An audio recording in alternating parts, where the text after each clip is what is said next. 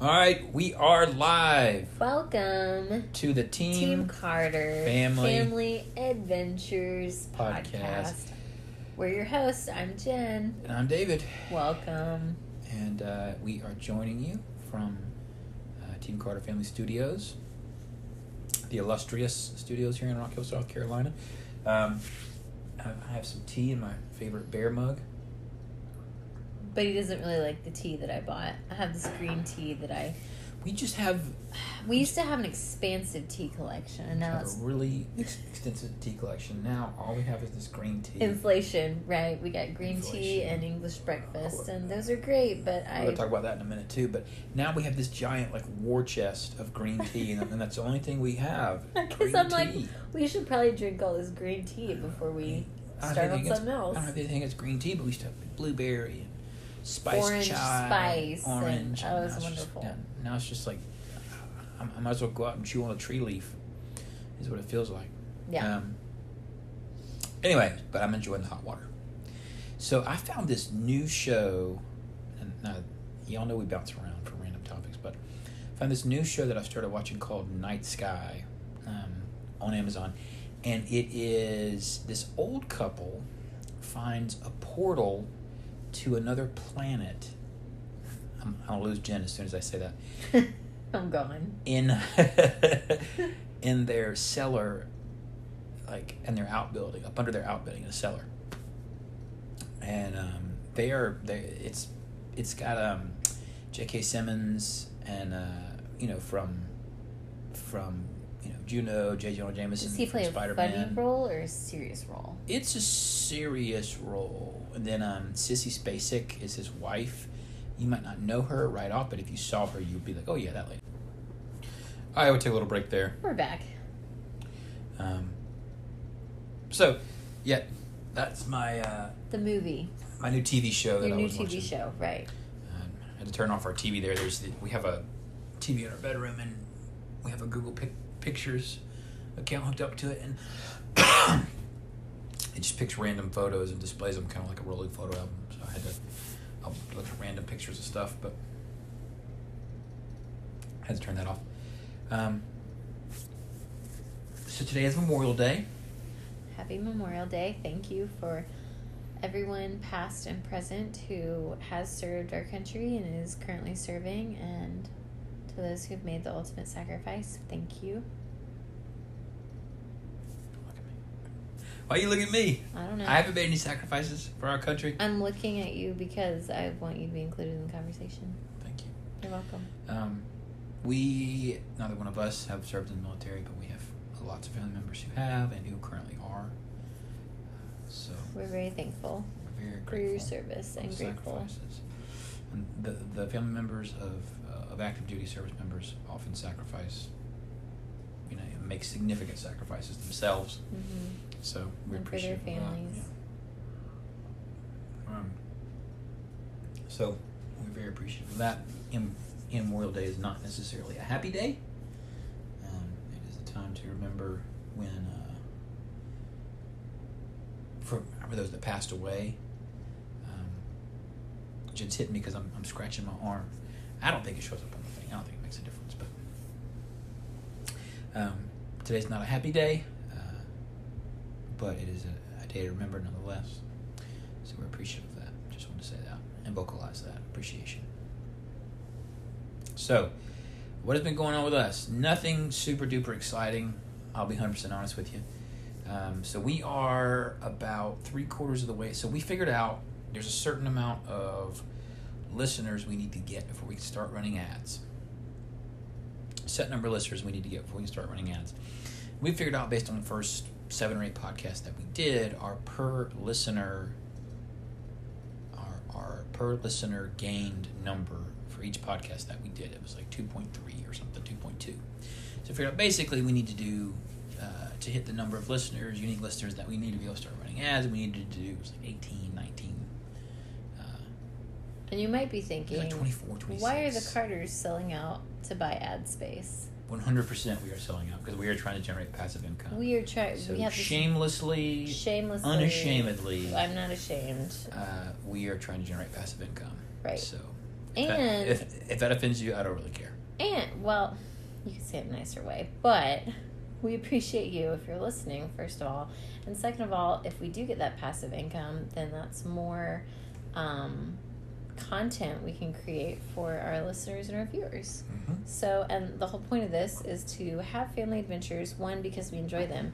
Two, we're making memories with our family. Three, we're inviting other families, you guys, listeners and viewers, to come along with us on our adventures. Um, and so that it inspires you guys and encourages you to make your own memories with your family. Yeah. Where some people don't want to physically go to all these locations, but they want to live or can't, right? And they want to live vicariously through us. So we appreciate you if you're here coming along with us. Yeah, it always amazes me the number of people who listen to these things, um, and you never know. Same thing with our YouTube videos. You never really know who's going to listen to stuff or watch it. We have a lot of, of viewers from Italy, surprisingly. Buongiorno, Buongiorno. If- Italia. i- If there's any Italians listening out there, buongiorno. Um, if not, then that's how you say hello in Italian. There's a le- there's a language lesson for you right there. That's about as far as our Italian goes. Uh, and we do speak Spanish, and I think Spanish and Italian have some pretty strong similarities. I bet you I could, if someone spoke slowly to me in Italian, I could understand 75% of what was being said. I bet you. Um, We'll test that theory. We'll go to Italy one day and we'll test that theory. We'll let you know how that works out. I feel like I would understand more Italian than I would Portuguese. Oh, yeah. Portuguese is like, I feel like I should know what you're saying, But I just. but I just don't. We found that out in Brazil. Like one day we were in Brazil. All right, so our AC unit went out today Yeah, in our house. man. And before, I might, not before, but in the past, I would have said, let's just, I don't know, wait a day. Maybe the AC unit will start working again. And that is just not realistic. No. So by the time it reached like 79, 80 degrees in the house, we were like, okay, there's a problem. It's blowing air, but it's not getting cold. There's probably a problem. So, I just would have went back to work and focused on other things until Jen made me call somebody. well, we're so grateful that whoever you called today was able to come out and um, and fix it. Who'd you call today? I don't even remember. Okay, well, bless that guy who came out on Memorial Day weekend and fixed the AC. Yeah, he literally came out like an hour after I called him. Yeah, it's running. So, So, praise Jesus. Um, let, me, let me just say this though. Uh, I have no complaints about this guy, but the cost. So it was low on Freon. Had to replace the capacitor. The cost of refrigerant, the 410 or R410, I think it's called, is is. You talk about. We mentioned the word inflation. The cost of refrigerant has gone up so much. So you can buy the refrigerant off of Amazon right now. Um, and it's like a thousand dollars To do it yourself. Yeah, you could do it. I don't know that I would necessarily. I'm not recommending that. Talk to a trained professional, whatever, whatever. You don't you don't want to make it worse. You don't want to um, break it. But it's a thousand dollars for a ten pound. Where's your phone at? Where? It's it was a thousand dollars for a basically a, a um. Jen has her phone on super lockdown mode here. Well, because I didn't want notifications or anything while we're doing this podcast. Um, I turn everything back on for a second. David gets so annoyed with me and my phone. It's just you know the apps aren't where you where he puts the one his phone. You know, for some reason my phone doesn't recognize my face, so you know you have to punch everything in manually. It's it's a whole thing. Refrigerant. It's a whole thing. Refrigerant. That's okay. Refrigerant. Refrigerant. Well, it is fixed and it's it's cooling off the house now, and we're so appreciative because you know South Carolina summers you just can't play around with that. It's not going to get colder. It's just not. It's going to be humid and Yes. sticky, and you're going to have to do something or suffer. So I'm grateful. Refrigerant. Refrigerant. I'm keep saying it until uh, twenty two, fourteen. Thirty. I don't know, it was like a thousand dollars for a ten or twenty pound. Uh, That's what he quoted you. looks like a propane tank full of this stuff, Mm-hmm. and whereas a year or two ago it was like two hundred bucks, three hundred Wow. bucks. So And so, just like everything else, the price is going up. So we were, you know, I think two and a half, three pounds low. You know, you know, anyway, it was it was more than I was expecting to spend on and it was a back Monday condenser, afternoon. correct? No, no, no, no, no, no, no. It was just a leak. A leak. There's a leak somewhere. Anyway, part of being a homeowner, there's a leak somewhere, but he put the stop stop leak with with the dye in it. And it's this fluorescent dye where you can put these glasses on and see where it's leaking. You know, should have dropped another couple of pounds and three, four hundred bucks later with the refrigerant. So, But we have a cool house. well, the house is cooling down, Praise the Lord. and um, what are you gonna do? Just not, you know, have a hot house? I mean, that's not really an option. Well, we're thankful that we had family members that we escaped to their house with their AC that works, and so the kids could at least hang out inside and um, so, so I was here at the house, just kind of sweating. sweating while he while he did his thing outside. And you know, I don't want to get in his way. I want to just let him do his thing. I was a service tech at one point in time in a, in a past life, so to speak.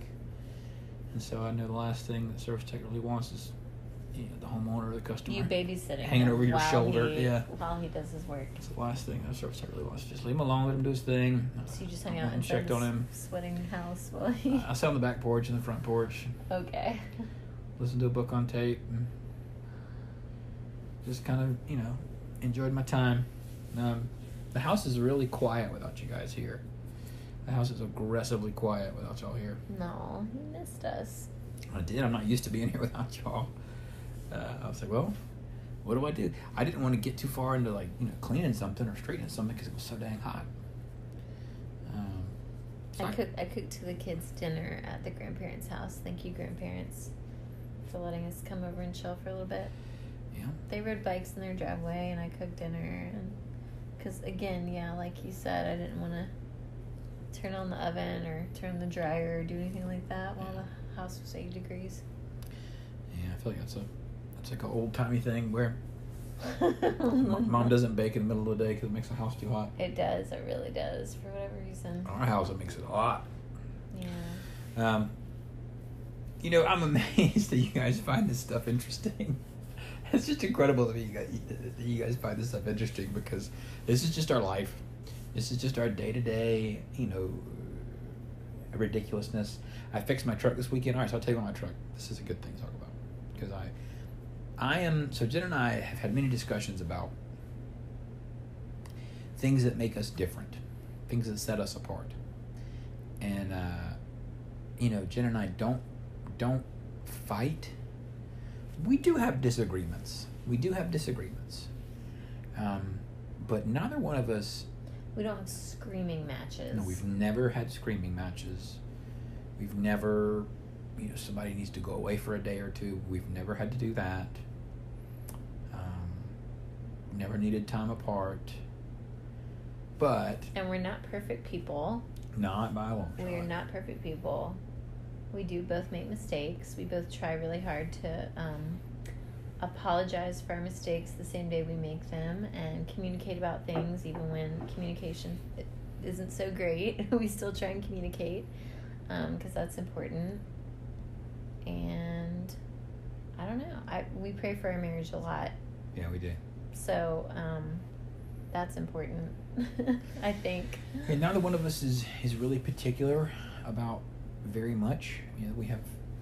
I don't. I was honestly trying to name something that Jen is really particular about, and if if it is something, I don't really know, or maybe it's just not something that I have encountered yet, or just haven't found something. Maybe that's just really good that you and I both aren't sitting around like, man, what really irritates me about my spouse. It's Mm. probably a good sign. It's probably a good sign. You probably shouldn't do that. the only thing If, that if I'm. you're focusing a lot on that, maybe you have other issues that we should talk about. That's a whole other. It's a whole nother Which I guess we could get into a little bit. thing. The only thing that I am relatively particular about, what is it, Jim? Is his car. my car. With small children, it's it's just his thing. It's it's our fourth child, his car. My my car is now, and before you And the viewer is picturing, well, does he have a Tesla? Well, does he Yeah, have a yeah. Porsche? What yeah does he before you jump to any conclusions, I have I, I love my car. What does I'm he have? So appreciative of it, and I don't want anything else, and so I take really good care of it because I want it to last a long time. I have a 2003 Toyota 4Runner. that was generously sold to us by friends who also love that car. Mm-hmm. And God bless Peter and Karen Tetrov who let us buy that car from them because it is still running. We still Mhm. have it. We've probably replaced so much on it because of its age. Not really. But it was well taken care Not of really. before yeah, we got yeah, it. well taken care of. We really, I, I had the air fixed. Uh, the AC went out. I had a radiator replaced. Routine stuff because of like mileage. You know, you gotta I mean, I've, you gotta do the tires. I you got a new set of tires, yeah. a new set of rotors. I mean, nothing, nothing insane. Um, so I've had it for five. Has it been five years now? We got it in 2016. 2018. So we got it. Really? Yeah, Are you sure? like the beginning of 2018, Okay. or the end of 2017. If you visit our blog, teamcarter.team, which is still on WordPress, you can look up in our archives of when we got that car. I think it's entitled A Christmas Miracle because it indeed was, it was a Christmas, miracle. 2017, 2018. Anyway, we got the car the beginning of in the 2017, beginning of 2018. I remember because the car needed some stuff done to it. It had been taken really good care of, but at that point it was a it was 2003 and it was 2017. I mean, you know, it had some age on at that point, so it just needed some things. So I had some projects to do. I had a couple of dash lights on that weren't anything significant, really, but so um, I did several things to it, cleaned it up really, really well. Um, just some maintenance type stuff. The um, the the supports for the lift gate in the back and for the hood were wearing out, so I replaced those. Um, steam cleaned it really well. Got it really nicely detailed, which is probably time to do something like that again. But anyway, so my car is like our our our, our fourth child, and I just have a theory or, or philosophy, whatever. Maybe I learned it from my parents or whoever. That if you take care of your things, your things will take care of you. And you know, this summer, this past summer, I had the AC fixed, and I had a catalytic converter replaced, and it was it was a good bit of money. Let's just say that it was a good bit of money. Not quite as much as the car was worth, but not too not too much less than that either. Um, it's about half what the car's worth. But you can't get a car for But that amount of money. but in in the scale of things, I could not have bought a car as nice as what I have for the amount that it would have cost to fix it.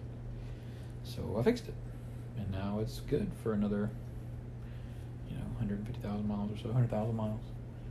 Uh, and so it's got like 220,000 miles on it now, and I plan to run it until the wheels fall off. Till it doesn't run anymore. Until it doesn't run anymore. And it being a Toyota and it being the V8, it's the same V8 that they put in in the Land Cruiser, and those are you know legendarily dependable and reliable and, and robust and sturdy. Now, if we could dream for like a half a second here, not that we're getting a new car because we waver back and forth between should we get a new car, should we not? And by new, I mean used, but like new to, for us. um, but if you haven't looked up the Toyota Tacozilla, that is purely just dreaming for David and I when we're, you know, alone and It's a- retired or a camper. something. It's Toyota's first. Maybe it's not their first, but it's their camper. No, it's not their first. It's, It's, a, not their first, but It's, it's, an a, old school throwback. It's made to look like one of the old uh, camper top trucks that you add onto a truck from the Mhm. 70s Mhm. onto a, a new Tacoma, but it's got the same 70s paint scheme. It's steel, not fiberglass. and it's Very steel, and so they were talking about how this thing's gonna last forever and keep on trucking, and it's way more stable and hmm all these things, and it's for you know fits two people comfortably, and so we were like, man, that would not fit our family right now, but man, Yeah, that's cool. Bell. So, My car's like a fourth child. That's why the maddest that Jen has seen me, the maddest that I have been in the last year, was when our three year old at the time, now four, took a box cutter to the driver's seat of my car. Um, He thought he was helping. Bless his heart. Understand how he was helping, but he was just being. I, I didn't do that to my dad's vehicles, but I did similar things. like, Um, I hid, I buried my dad's set of keys in the planter outside in the front yard because I said I thought it was going to grow a car. Buried, keys were gone. He lost them. he had church keys. In in his words, he had the keys to death, hell, and the grave on that key ring, I buried them. They were gone. We he found them a year later or so. That's hilarious. you just forgot. You forgot in that five minute time span that, oh yeah, I buried him right there in the planter. Just, I was five, six. You know, who knows? that's hilarious. Um, I that's on the same level with that. Well, Grady also buried one of his favorite toy cars. He brought it to this playground that had a bunch of mulch. Like it was, it still had all the wood chips, like as the, um, what do you call it? To protect the playground. And so he buried his favorite car somewhere on the playground. And I was like, well, let's help you find it. The girl, and I was getting the girls to help him. Like, let's help Grady find his truck that he buried in the mulch.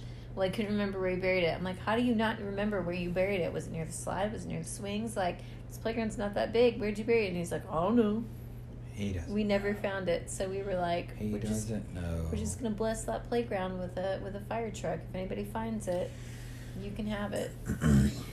So, I'm I'm taking the opportunities when things do arise with the vehicle to just fix it myself. So I I let Miriam pump gas the other day when she was at the gas station with me, and she let the gas cap off.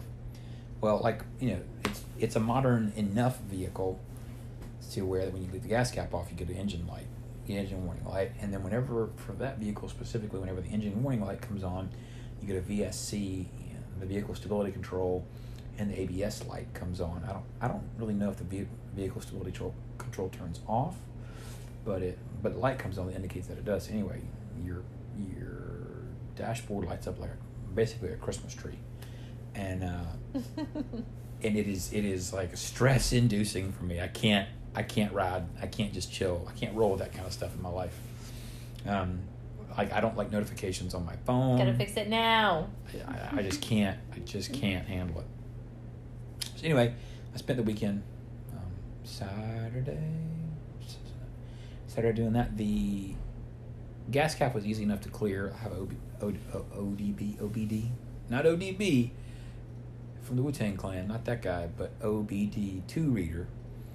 Um, that I can clear the the the gas cap code. That's easy to do.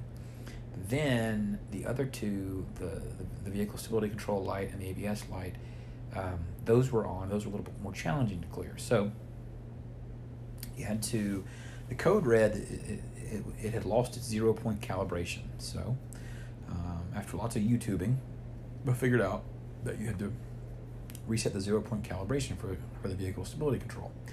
And what it was, there's a sensor in there that um, turns off the fuel flow when the vehicle it's supposed to be if there's a wreck, a vehicle flips over, turns upside down, turns off the fuel flow. well, it had lost the zero point calibration that told it if it was upside down or not. I think. Um, so I figured out there's there's a hack on YouTube. You take two uh, paper clips, you stretch them all the way out, put them into pin number four on the top line, pin number seven. This is in the OBD2 connector up under the dash. Put it into pin four on the top one and then pin seven on, on, on the bottom one. S- switch the put, put, put the key in the ignition, switch it to the on position. You have eight seconds to touch the two paper clips together four times. Click, click, click, click. That turns on that that clears the old calibration, and then you turn the key off. Turn the key back to the on position. You click the paper clips four more times. Click, click, click, click. And that resets the zero point calibration. You turn the key back off, take out the paper clips, crank the vehicle. You have to drive at 25 miles an hour or faster for 10 seconds with the wheel perfectly straight to to to set the new calibration. That's what I did. And all this you can find on YouTube. That's how all you. on YouTube. Wow, that's amazing. It was all on YouTube. And he did it. He fixed it. Yep. So that's that's fixed for now until the next thing comes up. Problem solver. Problem solvers. Yes. That's a throwback to an old episode of ours. Yes. Um, we actually got our first piece of fan art recently. It's coming in the mail. I was going to reveal it when it comes in the mail. coming in the mail. It's coming soon in the mail that we will tell you about on the next episode whenever we get this thing in the mail. hmm It's going to be awesome. I'm pretty excited to. We're also working on some merch. That's going to be um, some problem solvers merch that we'll put up. Um, if you're listening to this on YouTube, it'll be in the in the the link will be in the description below.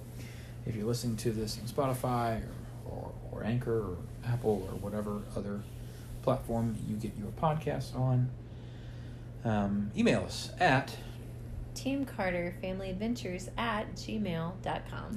or go to our website teamcarter.team um, to, to see our merch store. Is our merch store on We don't website? have a merch store yet. We okay. got to get on okay. that. Okay, okay, we don't have that yet, so just chill. Raise your hand if you'd like some merch and we'll just hopefully Just get that out.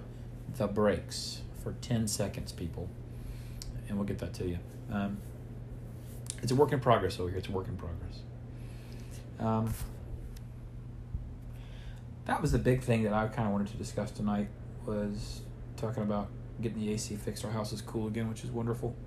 So I guess we have a theme right now on this episode of ownership, taking ownership, right? And taking with that, I guess, comes pride in what you own. So taking care of the house, taking care of your car, taking care of your kids. Yeah, yeah, yeah. Ownership being a big thing. Oh, this is what I was going to say about the car. Finally, it, it's paid off, and it's been, it's been paid off for a long time. And you know, I don't- I don't know you guys know this right now, but the new the, the, the car market is, is much like the housing market right now, and that prices are ridiculously high. So if I was to buy, let's even say I bought a late model, you know, not something brand new, something five six years old, for what I want slash what I need, it's gonna be thirty to forty thousand dollars, and the the monthly payment on a forty thousand dollar vehicle would be close to what our mortgage payment is. Dude, I just can't. If I don't absolutely have to do it, I'm just not gonna do it. I'm just not gonna do it. If I absolutely had to buy a car right now, I say this all the time. I would buy like a 2008 Honda Accord. If I had to have a car right now, that's what I would buy. Um, a, a, a late 2000s Honda Accord, um, maybe a Toyota Corolla. What's the one? What's the one up from the Accord? Um, There's an Accord. Oh, the, the Civic is the tiny. one. oh, yeah, yeah, yeah, the yeah. Civic, then the Accord, and the Toyota has the Corolla, and the Camry is a slightly larger. Mm-hmm.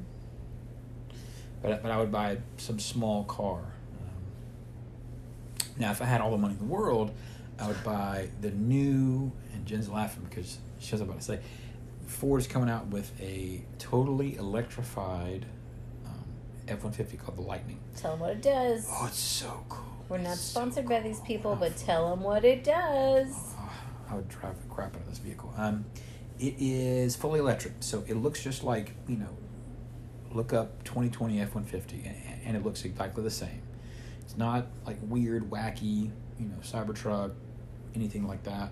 It looks like an F-150, and the there's a couple different trim levels. The base base trim level, which you may not really be able to get because it may sell out to fleet to fleet customers, is going to be like forty thousand dollars. It's going to have about two hundred fifty miles of range.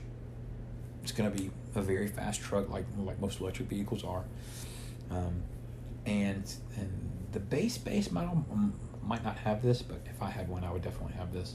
It was called Pro Power Onboard, and what this does, it could literally like like you, could charge another electric vehicle with it. It's that powerful. It, it can power your whole home. You plug it into your house when you get home. So you get home from the evening, and you know you you, you want to charge it overnight. You plug it in. Let's say overnight there's a power outage. Well, the car will reverse flow power into your home and power your entire home Off your truck. off of your truck. How cool is that? It can do that for up to three days, they say, with obviously limited usage. You're not going to be running the dryer for three, you know, three days straight, so to speak. Um, that is just That's crazy. unbelievably cool.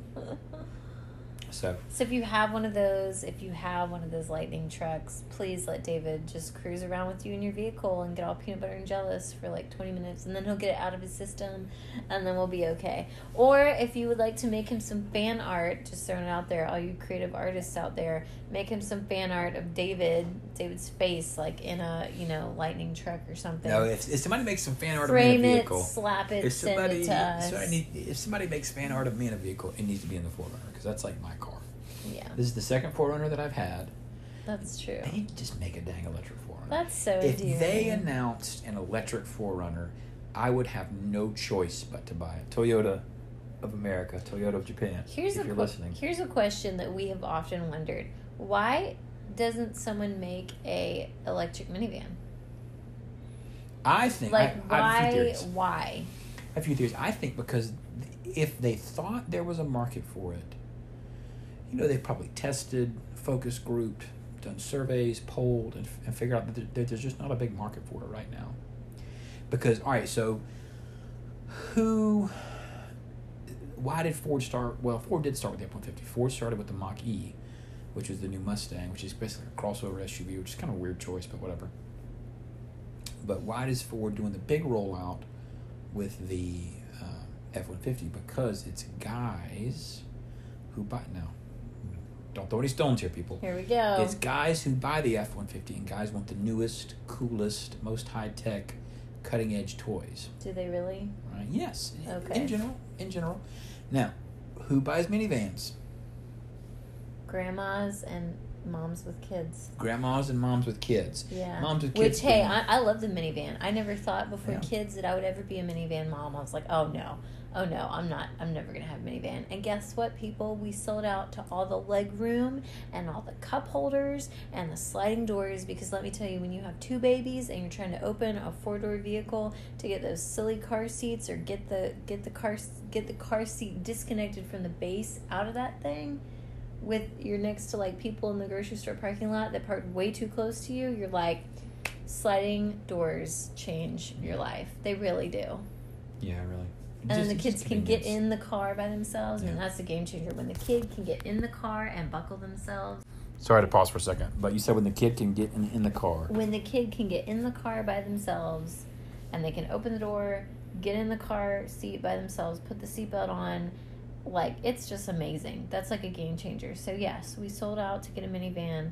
Our minivan is also, praise God, paid for, and we're keeping that thing until it drives until it's time to get rid of it. So my point is, the factors that make men buy the newest, coolest, hottest toy are not the factors that make the purchasers or minivans buy them. It's convenience, it's It's not reliability, not necessarily impulse, but like it, it, it's I need this minivan right now. it's convenience, it's reliability, it's reputation, it's it's ease of use. Being the fastest, nobody nobody buys a minivan because it's fast. People don't really buy minivans because they're high tech. I mean, eh, Eh. there's some features on it. We specifically, again, this is us being weird.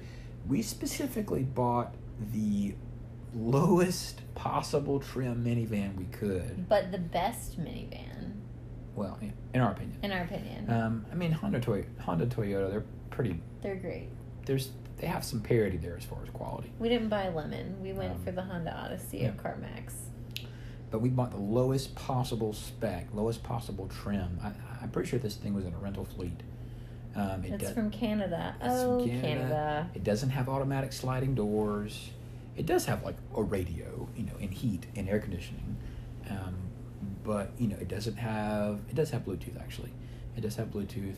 Um, you know, it, it has the things that you would expect a modern vehicle to have. But uh, it doesn't have the shades that slide up. Doesn't have the in-car vacuum cleaner. Doesn't, Doesn't have, have leather seats. seats, They're not doesn't- heated. They're not leather. What we what we've our our line of thinking was the less bells and whistles this thing has, the less stuff there is to break on it. That's true. right? So that was kind of our thought with that. Um, and so far, it's worked pretty well. But we're so thankful from our car for our cars, and we're going to drive those until they literally cannot drive anymore. Until it doesn't make sense for us to fix them, is probably the best way to say that. Until it stops making financial sen- sense to fix them, is what we're going to do. And that is our thing. Um, that may not be your thing, and that's okay. I, I have friends who change cars every three to four years. More power to you. Is. I guess we do change cars every three to four years. It's just not really planned. Maybe like every five to seven years. Maybe. So I haven't fixed the box cutter cuts in my seat yet. Any just- suggestions on how to do that? Like buy some Yeah. liquid leather and just I think I just need to take it to Maaco and say, what can you do? Buy buy one of those really cool um, wooden bead seat cover things in the driver's seat and sit on top of that. Get a seat cover, honestly. Get a seat be cover. be a terrible idea. How about those Hawaiian seat covers? Yeah, Maybe, maybe. maybe. You can tell I'm excited about that. Mm-hmm. Um, so, you know, we'll kind of see where that goes. Well, maybe I'll just hang on to it, and it'll be Miriam's first car when she drives. there you go. She's she's eight now, so it's only it's only twelve. Not not so it's only eight years away, right? Yeah. It's only eight years from now. Stop. That's crazy. It's only it's only as much time of as has already passed in her life has to pass again for her to be driving. Wow, So man. NBD. Looking forward to that. That's crazy though. NBD. I started thinking about that. Wow. I know it's wild. Um, well, I think that's probably just about enough. At 36 minutes and 50 seconds, I want to if, if you made it to this far in the podcast, I want to say congratulations, on making it to the super secret uh, post credit sequence. We're thankful Um, for you. again, I'm just uh, I'm I'm I'm stunned and and pleased that you guys uh, find us as interesting as you do. So, what are you grateful for this week? Um, what things in your life are you thankful for? Um, think about some of those things. Make a list. If you've never done this before, this can be really cool. Ooh, Write down idea. what you are thankful for. Maybe not every day necessarily, but once a month, twice a month, write down the things that you are thankful for and put those things at the forefront of your mind and it and it will make your day better. And even if you don't feel thankful, do it in this right moment. Do it anyway because you'll start coming up with like even if you can come up with only like one to three things that you're thankful for, you'll just keep thinking of those things when you when you just start and then you'll have like a whole list of like 30 things that you're thankful for whether it's big, small, it doesn't matter like um yeah. Yeah, leading with gratitude is really really powerful. Mhm. As you take back your own as you take captive your own thoughts. Leading with gratitude is really really powerful. Well, we love y'all. Have a good evening. Peace.